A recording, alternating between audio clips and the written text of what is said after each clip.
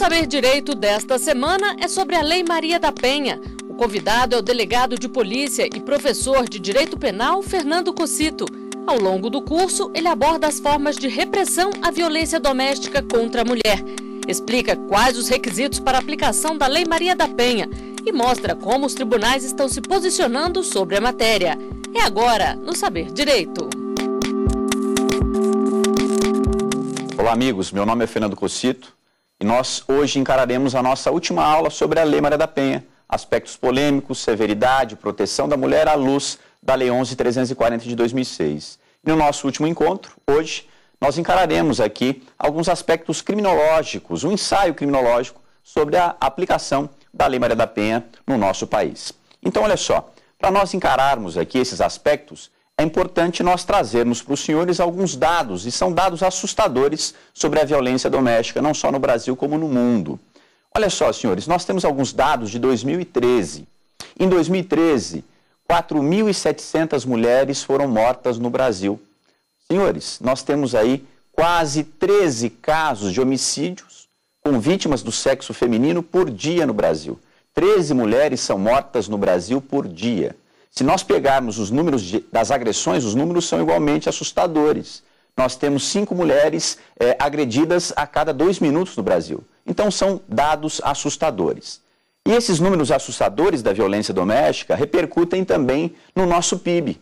Olha só, estudos recentes feitos pela ONU apontam que 10% do PIB brasileiro é destinado a esses problemas de ordem é, familiar, de ordem doméstica a esses entreveros, a esses conflitos nessas relações interpessoais. A ONU trouxe para a gente um dado assustador. 10% do PIB brasileiro, que representa quase 500 bilhões de reais, são utilizados na prevenção e repressão à violência doméstica no Brasil. Para os senhores terem uma ideia, esse valor supera o valor do PIB do estado de Minas Gerais. É muito dinheiro. E as pessoas perguntam, mas onde é que é colocado tanto dinheiro assim? Por que, que a violência doméstica tem tanto custo no Brasil. Senhores, esses valores não são utilizados apenas na criação de delegacias especializadas, promotorias especializadas, varas especializadas. Não é só isso. Claro que isso tem um custo também. Mas a mulher vítima de infração penal, essa mulher deixa de trabalhar. Essa mulher procura serviço de saúde, atendimento psicológico. Essa mulher também aciona a previdência social. Então nós temos todo um custo aqui, não só dos órgãos estatais, como também da iniciativa privada, e custos que são assustadores. Então, o valor da violência doméstica é muito alto no Brasil e no mundo. Como nós vimos, ela mata muito também.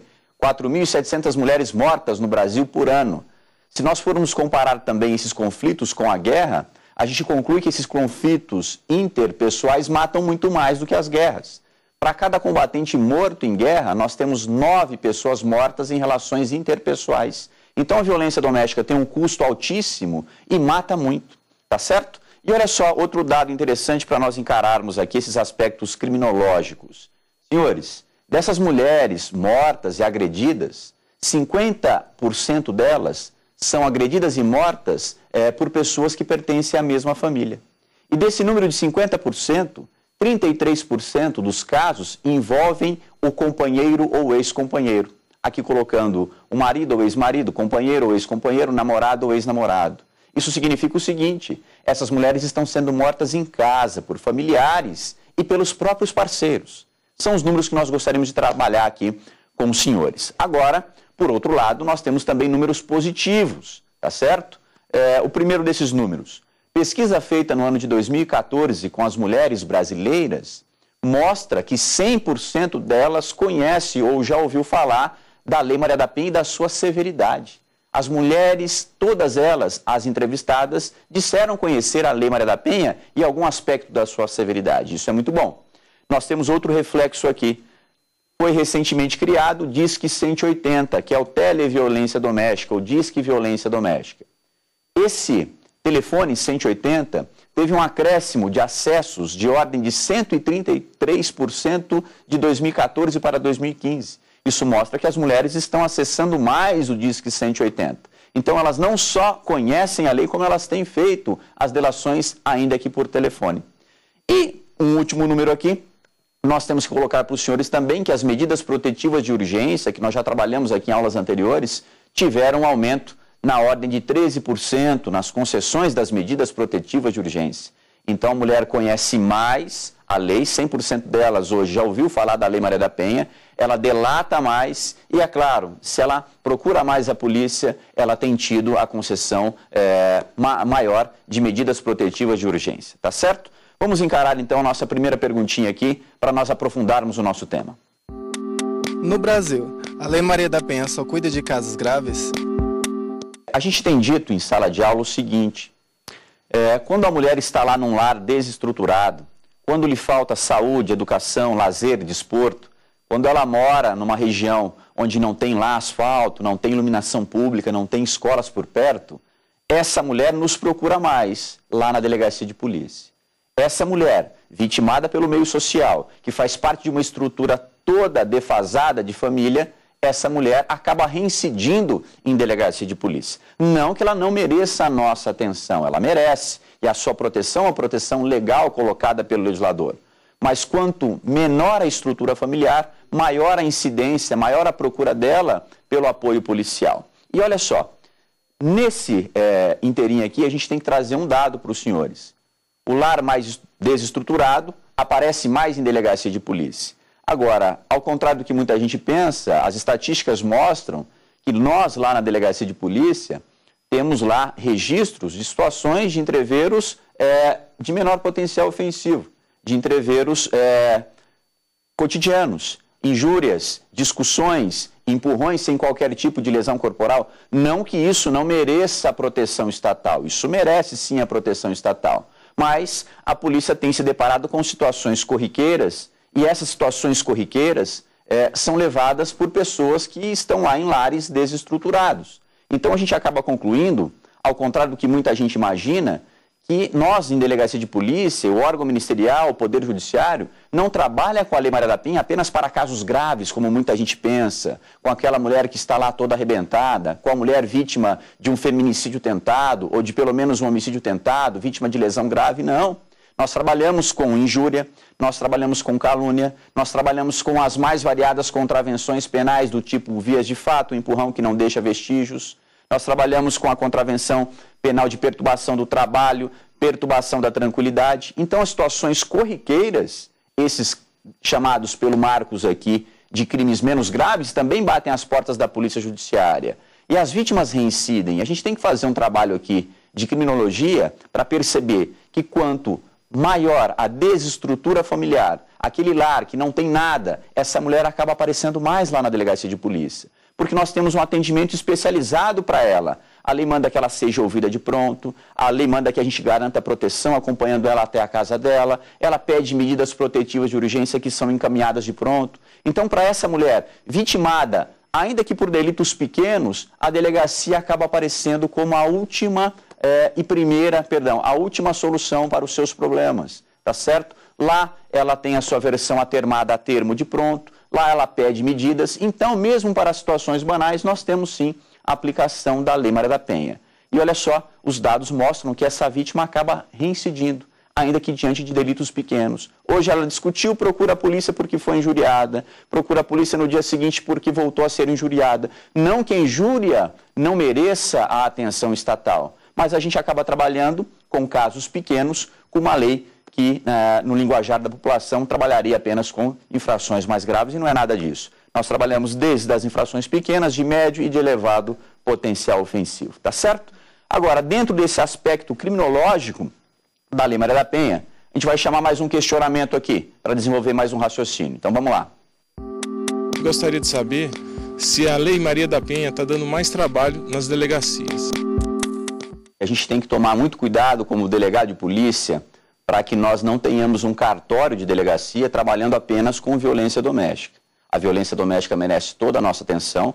Nós temos um trabalho diferenciado colocado pelo legislador em sede de violência doméstica. Mas nós temos sim muito mais trabalho de 2006 para cá em cartórios de delegacia de polícia. A lei eh, Maria da Penha revolucionou o atendimento em delegacia da mulher vítima de infração penal em situações de violência doméstica, mas ela trouxe para a gente muito mais trabalho, por pelo menos três é, situações aqui. Por que, que nós temos mais trabalho em delegacia de polícia? Primeiro toque. Nós vimos aqui em aulas eh, anteriores que a Lei Maria da Penha veda a aplicação da Lei 9.099. Então, olha só, se a Lei 9.099 é inaplicável, é inaplicável qualquer medida despenalizadora da Lei 9.099. Então, não cabe para o autor de violência doméstica transação penal, não cabe suspensão condicional do processo, não cabe sursi processual, muito menos se exige representação nos crimes de lesão leve e lesão culposa. Agora, o que muita gente esquece é que na Lei 9.099 é que eu encontro a previsão legal do termo circunstanciado. O TC, o polêmico TC, termo circunstanciado. O TC tem previsão na Lei 9.099. Se a Lei 9.099 é inaplicável, os casos que envolvem violência doméstica não podem ser apurados em TC e isso traz mais trabalho em delegacia de polícia. Por quê, professor? Olha só, o TC é um procedimento de polícia judiciária, mas é um procedimento mais célere, mais ágil. No TC, por exemplo, eu não tenho portaria inaugural, eu não tenho relatório final, o TC não comporta indiciamento, o TC não tem lá a atermação da versão, basta um resumo da versão do camarada lá no histórico do boletim de ocorrência. O TC nada mais é do que uma ocorrência circunstanciada. Quando a polícia apura infrações penais no bojo de TCs, termos circunstanciados, a polícia ganha tempo. Agora, olha só, em se tratando de violência doméstica, nós não temos é, atividade em TC. Toda e qualquer infração penal será apurada em inquérito policial. E o inquérito é mais robusto, o inquérito é mais prolixo e, claro, que isso demanda mais a nossa atividade policial. Nós perdemos um pouquinho de tempo com o inquérito policial. Então, nós temos mais trabalho em delegacia de polícia? Sim. Primeiro, porque nada é apurado em TC, tudo é apurado em inquérito e o inquérito é mais moroso. O inquérito comporta atermação de versões, o inquérito comporta indiciamento, relatório final, o inquérito deverá ser instaurado. É, sendo a situação não flagrancial mediante uma portaria circunstanciada, então o inquérito demanda mais trabalho da polícia. Então nós temos mais trabalho sim em delegacia de polícia. Temos mais trabalho também em delegacia de polícia por duas outras questões. A primeira delas é a seguinte: olha só, é, os crimes de ação penal privada continuam a exigir requerimento do ofendido. Os crimes de ação penal pública condicionada à representação continua a exigir representação, mas com exceção do quê? Com exceção da lesão corporal de natureza leve e da lesão culposa. Se esses delitos forem praticados lá no âmbito da Lei Maria da Penha, é, o crime será de ação penal pública incondicionada. Muitas vezes, no passado, essa mulher procurava a polícia é, e dizia-se lá vítima de lesão leve, nós a encaminhávamos ao IML, o IML constatava a lesão corporal de natureza leve, e nós questionávamos a ela no passado: a senhora quer ver o fato investigado? A senhora quer ver o suposto agressor preso, investigado? E ela dizia: não, não quero, eu não quero. Ele perdeu a cabeça, mas ele é um bom pai, ele também me ajuda na casa. É, eu não quero, meus filhos não irão me perdoar se eu acionar aqui a atividade persecutória da polícia. E nós colhemos então é, a sua é, renúncia. Colhemos a renúncia em delegacia de polícia, tá certo? A renúncia era a manifestação expressa dela que não queria ver o fato investigado. Agora, olha só, o crime de lesão leve e o crime de lesão é, culposa, ainda que praticados no âmbito doméstico, são crimes de ação penal pública incondicionada. Isso também traz um volume maior de trabalho para a polícia. Por quê?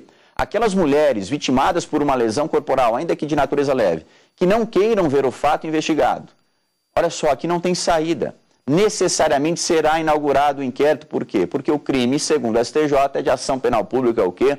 Incondicionada. Pouco importa a vontade dela. Então, isso também demanda mais a polícia. Aquelas mulheres que não se sentem seguras, que estão ali na dúvida, eu não sei se eu gostaria de vê-lo investigado ou não, a gente vai ter que falar, olha só, a senhora está aqui na delegacia de polícia, nós temos a aparência do crime, princípio aqui da obrigatoriedade. Diante da aparência, instaurar-se-á o inquérito policial, independentemente da vontade da senhora.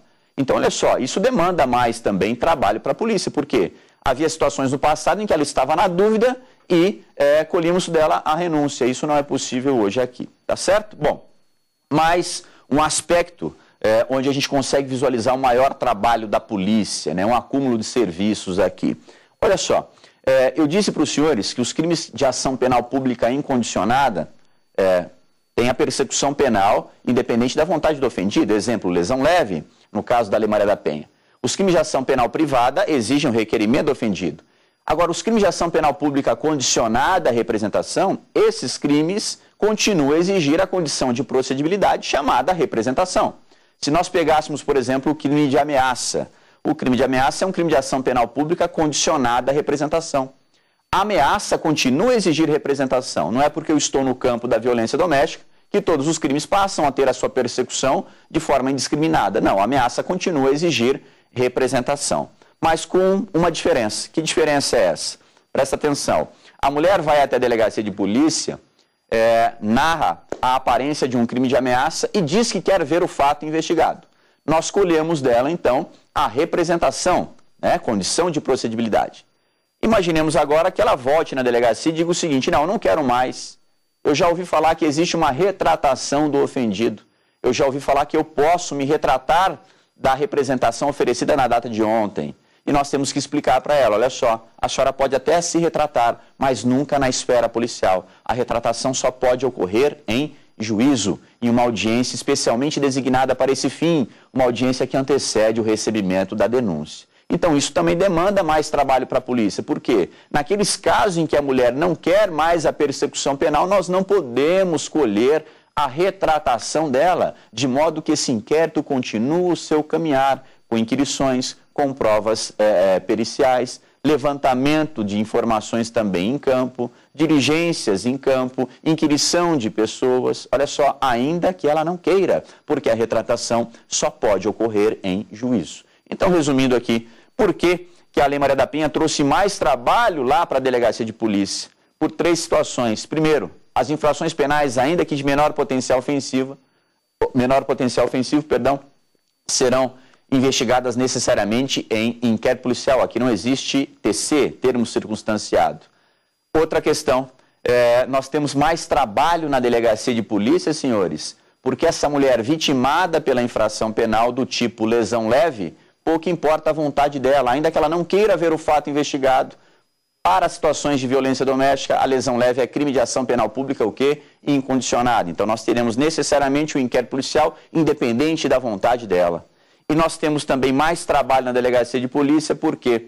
Porque nos crimes de ação penal pública condicionada à representação, ainda que ela queira se retratar, ela não poderá fazê-lo em delegacia, apenas em juízo. Então, do ponto de vista prático, nós temos que tomar algumas cautelas em delegacia de polícia para que nós não tenhamos o nosso cartório repleto de inquéritos fadados ao fracasso.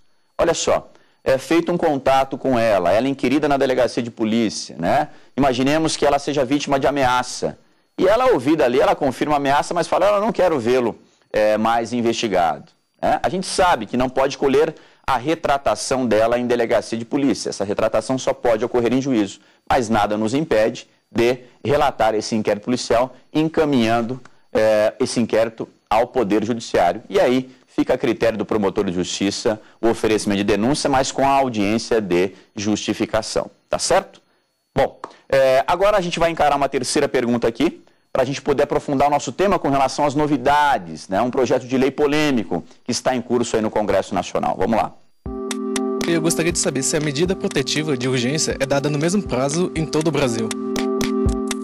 A pergunta do Fábio é polêmica. Ela é a base, né, o pano de fundo desse projeto de lei, o projeto de lei 7 de 2016, que já passou por comissões de Constituição e Justiça, hein? Já segue agora rapidinho a plenário. Então, olha só, para nós encararmos aqui é, a perguntinha do Fábio, vamos desenvolver um raciocínio e a gente vai ter que se valer de aulas aqui anteriores para a gente poder trazer para os senhores com segurança esse tema. Preste atenção aqui. No nosso primeiro encontro, nós falamos aqui da aplicação da Lei Maria da Penha. No que consiste a aplicação da Lei Maria da Penha? Eu disse para os senhores o seguinte: essa lei, a Lei 11.340 de 2006, a Lei Maria da Penha, ela não define infrações penais. Eu não tenho um único crime na Lei Maria da Penha. A Lei Maria da Penha traz apenas uma maior proteção para a mulher e uma severidade maior para o autor de crime. Lei Maria da Penha é sinônimo de mais proteção para a mulher e mais severidade para o autor de crime. Olha só, no que consiste essa maior severidade para o autor de crime, tema tratado aí nas últimas aulas. A maior severidade para o autor da infração penal consiste em vedar a aplicação da Lei 9.099. Se eu proíbo a aplicação da Lei 9.099, eu proíbo transação penal, sursi processual, su, é, composição civil extintiva da punibilidade e eu deixo de exigir representação nos crimes de lesão leve e lesão culposa. E eu vedo também o TC, termo circunstanciado. Então, a maior severidade da lei significa afastar a Lei 9.099, os seus institutos despenalizadores e a confecção do TC, de modo que tudo será apurado em inquérito policial. E olha só, nós já dissemos nas últimas aulas aqui, essa severidade não é só para crimes, e sim para qualquer infração penal. De modo que se o namorado pratica a contravenção de vias de fato contra a namorada, para ele também nós afastaremos transação, sursi processual, tudo isso, tá certo? Porque lá no artigo 41 da lei, onde está escrito o crime, o STJ já disse, nós devemos ler infração penal, de que são é, espécies o crime e a contravenção, tá certo? Agora, olha só, dissemos também que se nós reconhecermos a aplicação da Lei Maria da Penha, nós não teremos só uma severidade maior para o autor de infração penal, nós teremos uma proteção maior para a mulher. E nós já falamos aqui em aulas anteriores no que consiste essa maior proteção para a mulher. Vamos revisar aqui para a gente poder encarar é, o nosso projeto de lei. Senhores, olha só. A maior proteção dessa mulher começa no balcão de polícia judiciária, lá no plantão de uma delegacia de polícia essa mulher vitimada pela infração penal, se nós reconhecermos a existência da Lei Maria da Penha, e para nós reconhecermos a existência da Maria da Penha, do que é que nós precisamos? Vamos revisar aqui. Eu preciso de um sujeito passivo mulher, a vitimada pela infração penal tem que ser mulher, e nós colocamos aqui para os senhores também, não só mulher biologicamente considerada, mas a mulher também, aquela que se considera mulher como transexual, ainda que não operado, porque mulher não é só uma condição biológica, é uma condição também de gênero. Preciso de um sujeito passivo mulher. Preciso também do que, senhores? Da existência de um dos vínculos da Lei Maria da Penha. E quais são os vínculos? Unidade doméstica, família ou relação íntima de afeto. Presente o sujeito mulher, um dos vínculos, falta o quê? Falta uma das formas de violência. E são cinco formas de violência violência física, violência psicológica, violência moral, violência sexual e patrimonial. Se eu tiver um sujeito passivo mulher, se eu tiver um dos vínculos e uma das formas de violência, eu tenho a Lei Maria da Penha, com mais severidade para o autor do crime e mais proteção para a mulher. Então vamos lá. Essa maior proteção para a mulher, eu disse que começa no balcão de polícia judiciária. Por quê? A Lei Maria da Penha diz o seguinte: Seja a situação flagrancial ou não flagrancial, deve a autoridade policial tomar mais cautela com essa mulher lá no balcão de polícia. E a lei trouxe providências específicas para a mulher em situação de violência doméstica. Quais são essas providências? Primeiro, nós temos que conferir a ela a leitura dos seus direitos, temos que orientá-la a respeito dos seus direitos.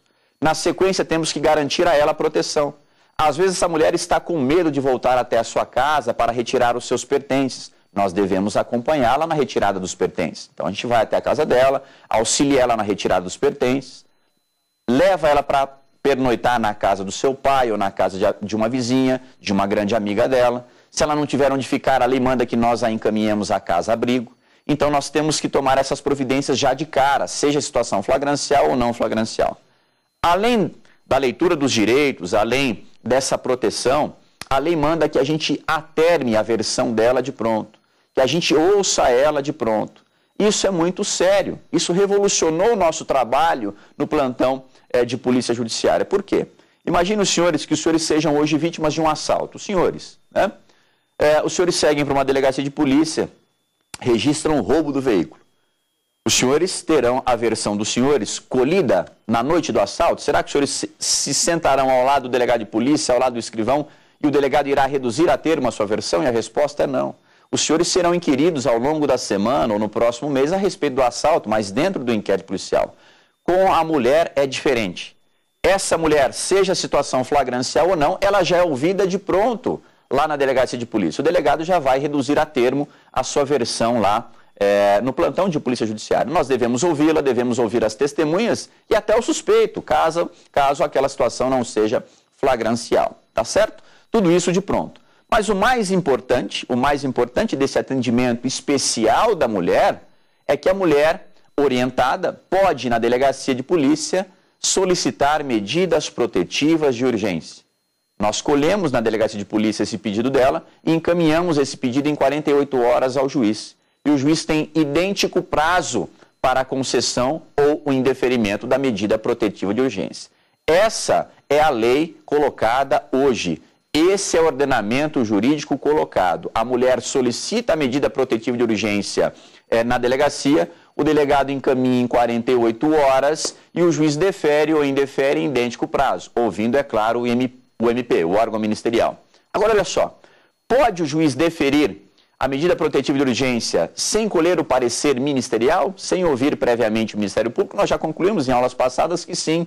A lei se preocupou com situações urgentes. O juiz pode deferir a medida independentemente de ouvir quem quer que seja, desde que na sequência, de imediato, ele comunique o parquê, o órgão ministerial. Bom, agora olha a pergunta do colega. Essas medidas protetivas de urgência são deferidas no mesmo prazo em todo o nosso país? Será que são deferidas e indeferidas, ou seja, apreciadas com agilidade em todos os cantos do nosso extenso país? E a resposta, claro, que é negativa. Vamos trazer o exemplo aqui do DF, aqui do Distrito Federal, capital da República. Aqui em Brasília, senhores, nós temos uma atividade é, de plantão aqui do TJ-DFT. O delegado colhe essa, esse pedido de medida protetiva de urgência e ele é analisado em poucas horas pelo plantão judicial. Então as coisas aqui funcionam bem, graças a Deus. Olha só, a gente colhe o pedido dela, encaminha ao plantão judicial noturno e o juiz defere ou indefere essa medida em questão de horas, tá certo? O problema é o seguinte, em algumas regiões do nosso extenso país, nós temos aí cinco, seis, sete dias para apreciação de um pedido de medida protetiva de urgência, tá certo? Então, claro que a mulher tem pressa, claro que ela pode estar morta ao final do quinto dia, então, nós temos um projeto de lei, um projeto de lei polêmico, que é o projeto de lei 7 de 2016, que tenta fazer com que essa medida protetiva de urgência já seja deferida pelo delegado de polícia lá na delegacia, independentemente de um pronunciamento jurisdicional. O pronunciamento viria apenas na sequência, tá certo? O projeto é polêmico e nós iremos é, discuti-lo a partir de agora. Senhores, olha só, vamos prestar atenção aqui. Antes de nós chegarmos aqui na medida protetiva deferida pelo delegado de polícia já na delegacia, vamos trazer outros aspectos desse projeto de lei. Esse projeto de lei é muito bem-vindo no nosso é, posicionamento aqui e incrementa essa maior proteção da mulher já na delegacia de polícia.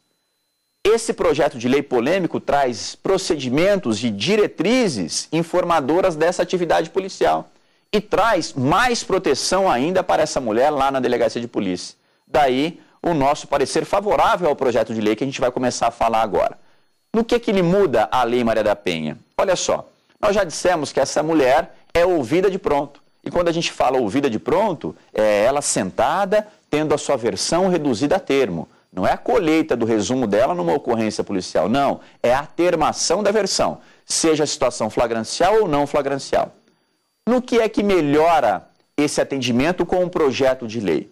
O projeto de lei diz o seguinte: primeiro, é, o projeto pressupõe um atendimento policial e pericial especializado e ininterrupto, dando ênfase às delegacias especializadas. Mulher em situação de violência doméstica, via de regra, deve ser inquirida em uma delegacia especializada. E esse projeto de lei também manda que os estados confiram prioridade na criação de delegacias especializadas, promotorias especializadas, núcleos especiais de atendimento à mulher. Então, olha só, primeiro, o projeto manda que o atendimento seja feito é, em uma atividade especializada de polícia judiciária, um trabalho também pericial especializado e ininterrupto. Agora, o mais importante, o projeto manda que essa mulher seja atendida preferencialmente por mulheres. Claro, que a mulher prefere trazer as suas angústias, trazer a notícia do crime para uma mulher, tá certo? A gente aprende isso em delegacia de polícia, nos plantões. A polícia tem tomado essa cautela. No plantão a gente tem sempre lá uma policial, né? E essa policial é quem normalmente faz esse primeiro bate-papo com a mulher. A mulher se sente mais à vontade conversando com outra mulher a respeito da infração que acabou de vitimá-la, tá certo? Mas isso não estava na lei, na lei Maria da Penha. O projeto de lei manda que o atendimento seja feito agora preferencialmente por mulheres e preferencialmente também em delegacias especializadas, são as chamadas DEANS, Delegacias de Proteção à Mulher, tá certo? Agora olha só, o projeto também avança dizendo o seguinte: em delegacia de polícia feito esse atendimento preferencialmente por mulheres, nós temos que impedir qualquer tipo de contato da mulher ou das testemunhas com o investigado, com o suposto agressor, tá certo? Isso, por óbvio que já é feito, mas não estava na lei. A lei manda, olha só, chegando a mulher e as testemunhas do caso na delegacia de polícia, deve ser afastado qualquer tipo de contato entre elas e quem? O suposto agressor, o suposto autor da ameaça, aquele que a teria injuriado, seja qual for o crime, o investigado. Nós não temos que permitir nenhum tipo de contato, tudo para preservá-la. E nessa preservação da mulher, senhores, o projeto também avança dizendo o seguinte: olha só, contato zero com o investigado, atendimento preferencialmente por mulheres, e nós temos mais um detalhe aqui. Esse atendimento feito em delegacia de polícia não pode questionar ela sobre os mesmos fatos em ocasiões distintas. O projeto manda que ela não seja novamente vitimada, tá certo? É para nós evitarmos a nova vitimização da vítima, tá certo? O projeto fala, olha só, inquirida na delegacia de polícia, nós não temos que ficar novamente em situações é, distintas questionando ela sobre os mesmos fatos. Então, o projeto veda que ela seja novamente vitimada por inquirições sobre o mesmo assunto. E isso a gente toma cuidado já hoje em delegacia de polícia. Essa mulher chega na delegacia de polícia, nós temos um atendimento é, inicial no balcão ali, quando o nosso agente já visualiza uma situação, a aparência de, de, de violência doméstica, aciona o delegado de polícia, e o delegado já leva essa mulher ali para a formar uma inquirição, como a lei manda, porque ela deve ser ouvida de imediato. Agora, olha só, nós não podemos sentá-la no balcão de polícia judiciária, colher lá a sua versão para a ocorrência policial, questionando ela sobre tudo o que aconteceu. Na sequência, tiro ela dali, levo para a sala lá do delegado de polícia e começo a questioná-la novamente sobre tudo o que aconteceu. A lei agora expressamente Claro, né, se aprovado o projeto de lei, a lei manda que ela não seja novamente vitimizada, tá certo? A lei proíbe novos questionamentos que já foram feitos, tá certo? Para a gente impedir novas perguntas sobre o mesmo assunto, tudo isso visando protegê-la e também o seu aspecto psicológico. Beleza?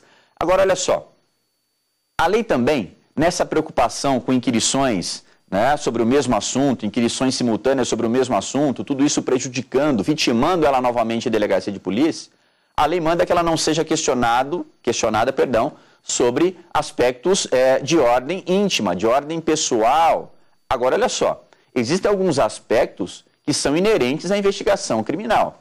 Existem alguns aspectos da sua vida pessoal que devem fazer parte da inquirição, não tem como fugir, porque estão conexos à investigação criminal. Por exemplo, é, quando inquirida na delegacia de polícia, embora isso faça parte da sua vida, nós temos que questioná-la. Quanto tempo você vive com ele? Desse relacionamento, tiveram algum filho? Qual é a idade das crianças? Qual é a condição das crianças? As crianças se dão bem com o pai, com o companheiro? Como é que funciona isso aqui? Quem é o provedor da casa? Por quê? Essa inquirição é técnica, porque ela normalmente vai pedir uma medida protetiva de urgência. E o juiz tem que conhecer, peraí, esse camarada é o companheiro dela, vivem junto, juntos há quanto tempo? Os filhos são também dele? Os filhos se dão bem com ele? Ele trabalha, não trabalha? Então, olha só, no projeto, é, o projeto fala nós não temos que ficar repetindo inquirições, questionando ela naquela delegacia sobre o mesmo assunto várias vezes, porque isso seria uma nova é, vitimização dela, beleza, tudo bem, daí a nossa cautela, mas o projeto manda que eu não questione ela sobre assuntos de ordem é, de sua intimidade, de ordem privada, tudo bem. Agora, existem alguns assuntos que estão conexos à investigação criminal e, claro, que eu deverei perguntá-la, não tem como fugir. Aí a crítica nossa aqui ao projeto nesse sentido. Mas olha só, ainda durante a inquirição da mulher na delegacia de polícia, o projeto manda, senhores, que essa inquirição seja feita em uma sala especial, uma sala que seja trabalhada para a inquirição da mulher. Claro que tem que ser assim. Nós temos uma delegacia aqui chamada DPCA, que é uma delegacia de proteção à criança. Olha só, às vezes a vítima da violência doméstica é uma criancinha de pouca idade. E é claro que ela tem que ser ouvida lá em uma salinha específica, com alguns brinquedos, com alguns bonecos, por uma pessoa treinada para isso. O projeto também manda que essas inscrições, se o caso, devam ser acompanhadas por um pessoal especializado em situações de violência doméstica. Esse sujeito treinado, que muitas vezes tem um curso de psicologia, em uma sala específica com a criancinha, com bonecos ali, com alguns movimentos, vai trabalhar com aspectos libidinosos, né, com algumas condutas libidinosas, de forma muito mais fácil a ser entendida pela criança. Então, o projeto manda que essas inquirições sejam feitas em salas especiais, salas adequadas à idade da vítima, adequadas à estrutura da vítima, adequadas ao tipo de infração penal perpetrada. Então, se eu vou ouvir uma criança vítima de violência doméstica, claro, uma garotinha, uma menina do sexo feminino, por exemplo, é, vítima de estupro de vulnerável praticado pelo pai, pelo genitor. Claro que essa inquirição merece ser feita por um, por um corpo técnico de policiais treinados para tanto em uma sala especial, onde com alguns brinquedos, com alguns bonecos, eu tenha mais facilidade na descoberta da verdade real. Não só na descoberta da verdade real, mas tudo também visando o quê? Preservá-la, para que ela não seja novamente vitimada, tá certo? Mais um, um detalhe aqui a respeito do projeto de lei. O projeto de lei manda que é, as inquirições da mulher sejam gravadas, tá certo? Ou filmadas, ou com gravador, com aqueles meios disponíveis lá, tá certo? Uma preocupação também do legislador. Agora, olha só, vamos entrar agora na polêmica aqui. O projeto permite é, a concessão da medida protetiva de urgência já pelo delegado de polícia, na delegacia de polícia. Olha só, a medida é duramente criticada, nós já temos aqui autores de renome suscitando da inconstitucionalidade da medida. Muitos têm dito o seguinte: não pode o delegado de polícia sozinho deferir a medida protetiva de urgência, porque a lei trouxe aqui uma cláusula de reserva jurisdicional a lei disse que é o juiz quem vai deferir ou indeferir a medida protetiva de urgência. Então, olha só, será que nós não poderíamos alterar a lei permitindo à autoridade policial a concessão da medida protetiva de urgência? Me parece que sim. Me parece que sim, aplicando-se aqui um raciocínio de proporcionalidade e uma proporcionalidade favorável à ofendida, favorável à mulher vítima de violência doméstica. Senhores, se o delegado de polícia pode, na flagrância, submeter o sujeito ao cárcere, constrangindo esse sujeito na sua liberdade, prendendo-o em flagrante, por que, que não? Por que não o delegado não poderia é, determinar uma medida protetiva de urgência? Senhores, o nosso raciocínio aqui é facilitado por duas questões. Primeiro, quando nós trabalhamos com os senhores aqui com medidas protetivas de urgência, nós dissemos para os senhores que nós temos medidas protetivas de urgência mais invasivas e menos invasivas. Por exemplo, não existe medida protetiva de urgência mais invasiva do que o afastamento do sujeito de casa. O juiz determina que ele saia de casa e o oficial de justiça, com apoio da Polícia Judiciária, vai lá e retira o sujeito do lar onde ele vive com a mulher. É uma medida extrema. Nós dissemos aqui que reservada para situações onde eu tenha probabilidade de autoria, crimes graves e com probabilidade de autoria. Tá certo? Agora, nós temos medidas menos invasivas, como proibição de contato. Basta que o sujeito não pegue o telefone e não ligue para a namorada, tá certo? Vítima lá do crime de ameaça, por exemplo. E no projeto de lei, nós tivemos essa preocupação do legislador. No projeto de lei, o legislador diz o seguinte: o delegado pode sozinho deferir medida protetiva de urgência, mas apenas três medidas protetivas de urgência, senhores, que obrigam o agressor.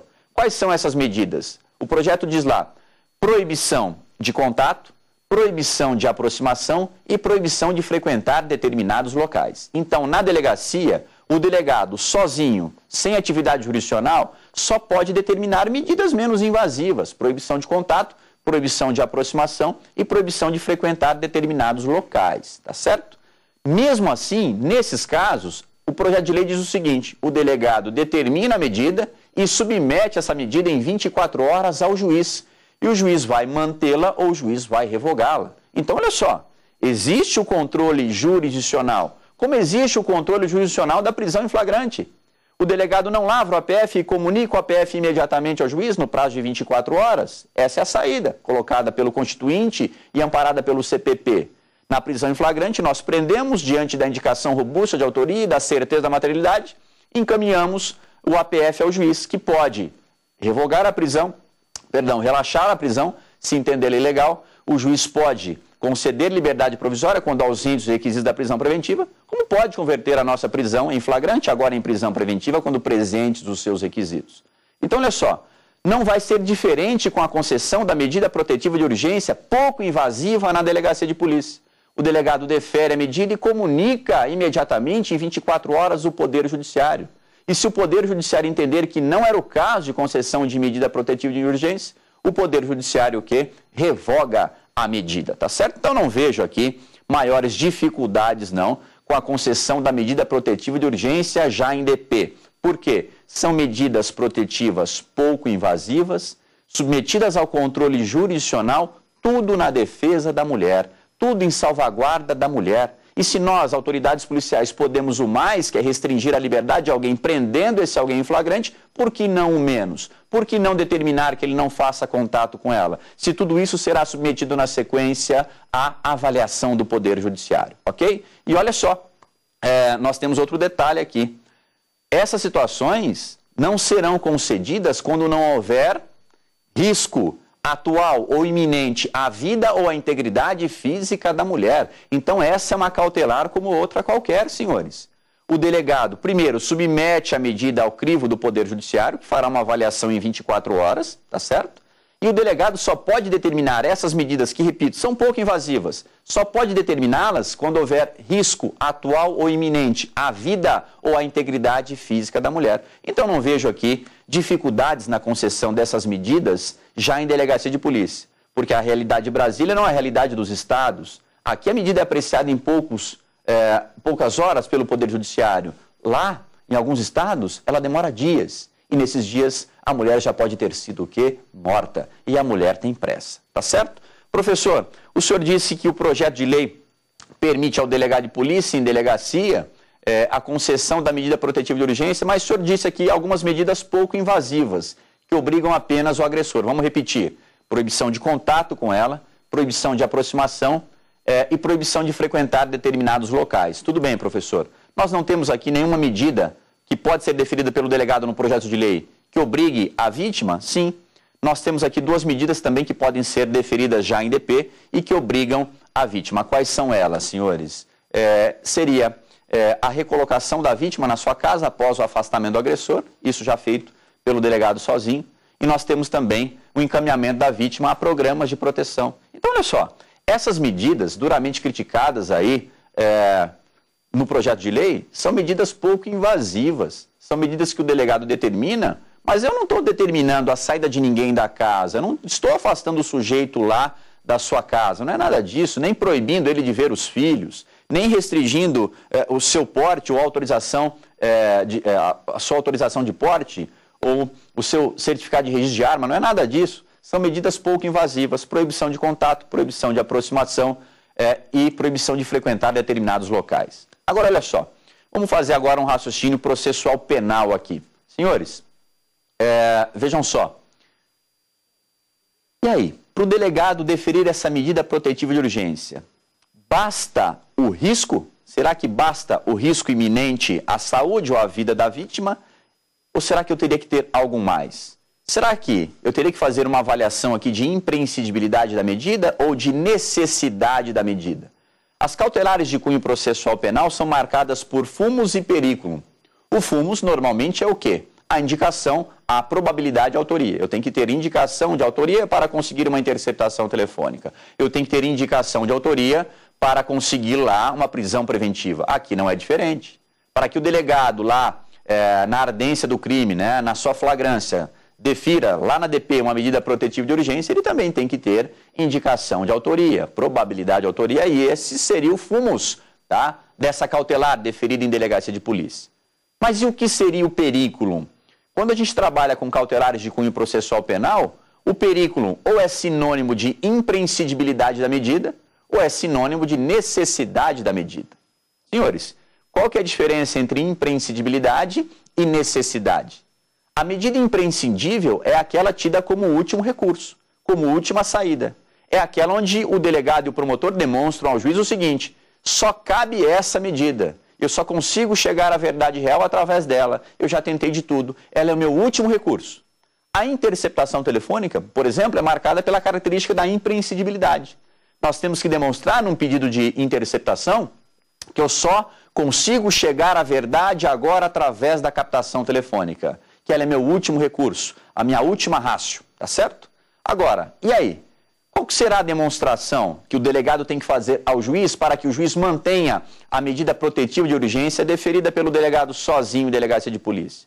Será que nessa comunicação a avaliação aqui é de necessidade ou é de imprescindibilidade? Claro que a avaliação aqui tem que ser de necessidade.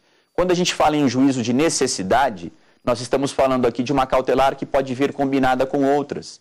Se a cautelar é necessária, ela pode vir combinada com outras. Então, olha só, é, nós podemos falar em uma busca e apreensão sendo necessária e sendo combinada com uma quebra de sigilo de dados bancários ou dados fiscais, medidas marcadas por juízos de necessidade.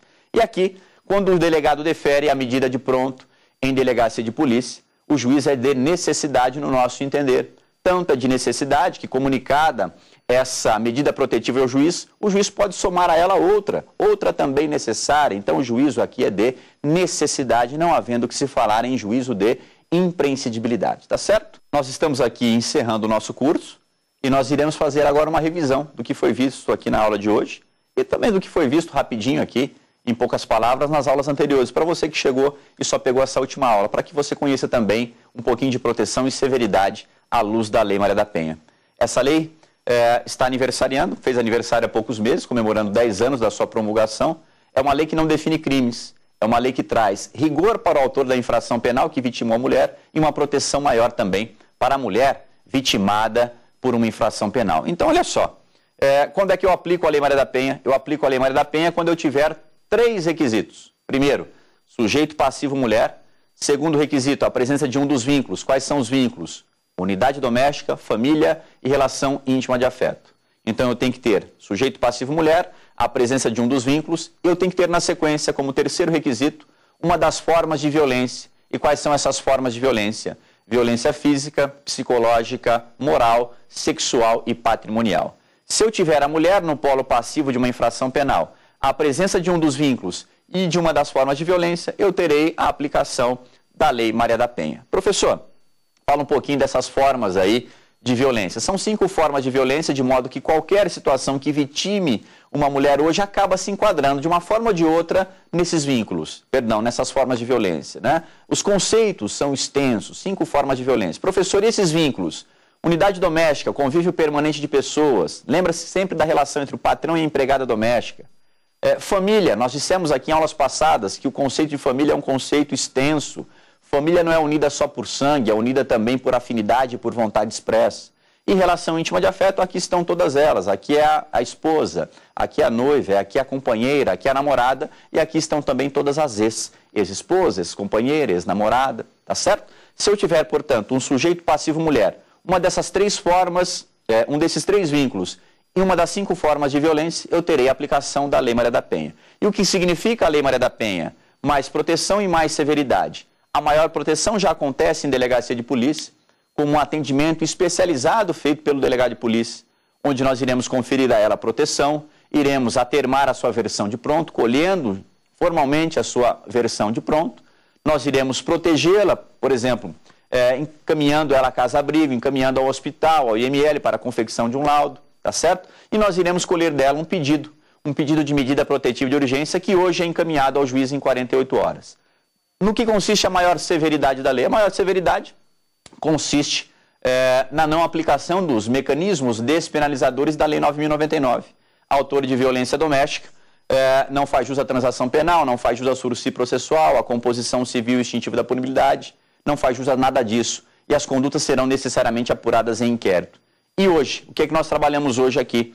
Hoje nós falamos de um polêmico projeto de lei que é, traz uma proteção maior a mulher em situação de violência doméstica, trazendo diretrizes e procedimentos nessa inscrição dela especial em delegacia de polícia, mandando que essa inscrição seja feita preferencialmente em delegacias especializadas e por policiais femininos, por mulheres policiais, tá certo? Em salas próprias, salas adequadas à condição da mulher vítima de violência doméstica, salas onde eu tenha brinquedos, objetos relacionados ao tipo de infração penal praticada, tá certo?